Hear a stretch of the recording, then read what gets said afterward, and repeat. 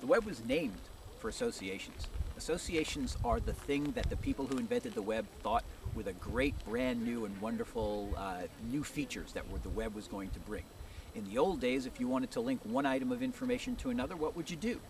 Well, you'd create some sort of bibliographic reference, and that bibliographic reference said, go to the library in effect and look for this title in the card catalog. Having found it in the card catalog, the card catalog will point you to the place where that, that the paper is to be found, and you can go retrieve that paper and see what I mean when I said you should look at that piece of paper if you've seen what I've, um, what I've been presenting.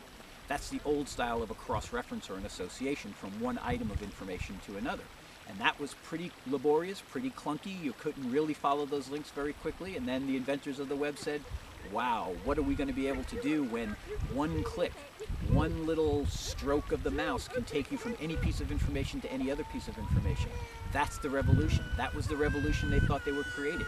A revolution of association, a revolution of connection between one item and, and the next inside of a worldwide information base where every bit of information can be connected to any other bit of information.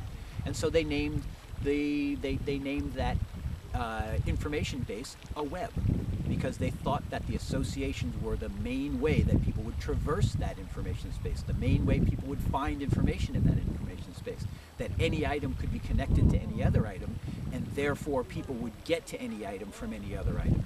So the conception was a vastly interconnected space of items of information. And of course, those items of information we know are files. So really a vastly interconnected space of files where the where the links, where the associations are those hypertext references, those hrefs.